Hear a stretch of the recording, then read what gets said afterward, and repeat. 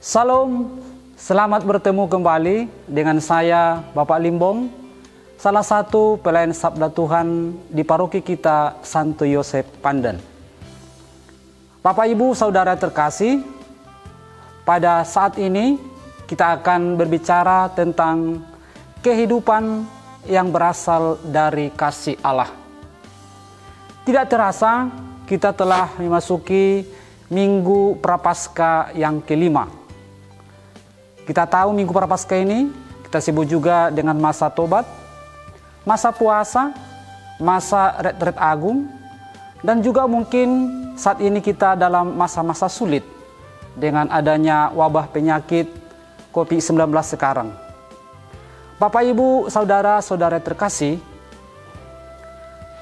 mati secara rohani sering digambarkan dengan berbagai penyakit-penyakit sosial Apakah itu sikap malas, sikap cuek, apatis, bersikap otoriter, atau mungkin rasa takut yang berlebihan. Apalagi saat ini mungkin kita sedang dalam suasana kegalutan, rasa takut. Kadang-kadang kita kurang beriman kepada Tuhan. Setiap persoalan pasti ada jalan keluar yang penting sebenarnya adalah kita harus punya suatu sikap yang bijak dan peka untuk menyelesaikan setiap persoalan-persoalan yang ada dalam kehidupan kita. Bapak, Ibu, Saudara terkasih, Injil hari ini bagaimana dikisahkan tentang Lazarus yang dibangkitkan oleh Yesus. Kita tahu Lazarus itu adalah saudara dari Marta dan Maria yang sudah empat hari mati, bahkan dia telah berada di kubur. Karena berkat kasih Allah, Lazarus dibangkitkan oleh Yesus. Yesus mengatakan, Akulah kebangkitan dan hidup. Barang siapa yang percaya kepadaku, ia akan hidup walaupun ia telah mati. Itu berarti bahwa Yesus adalah satu-satunya jalan Yesus adalah kekuatan, Yesus adalah pelindung kita dan mampu mengubah seluruh kehidupan kita.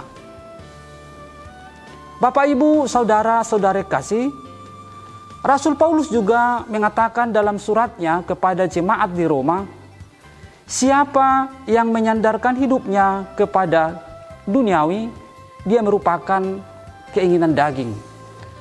Tapi mereka yang mengandalkan kekuatan roh mereka hidup dalam kebenaran.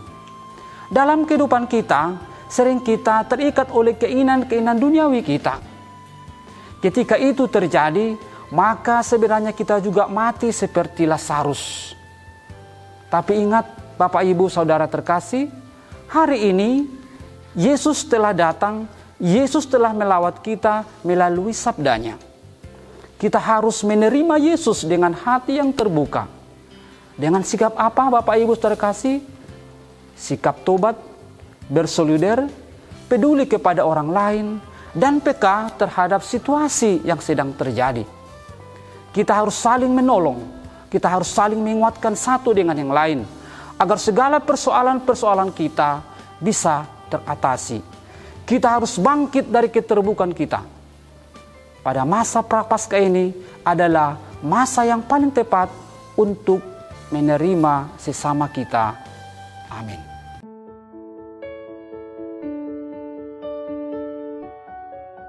Terima kasih Bapak Ibu saudara kasih telah menyaksikan renungan ini. Saksikan renungan-renungan berikutnya di episode yang lain bersama dengan para pastor, para biarawan berawati, dan pelayan sabda Tuhan.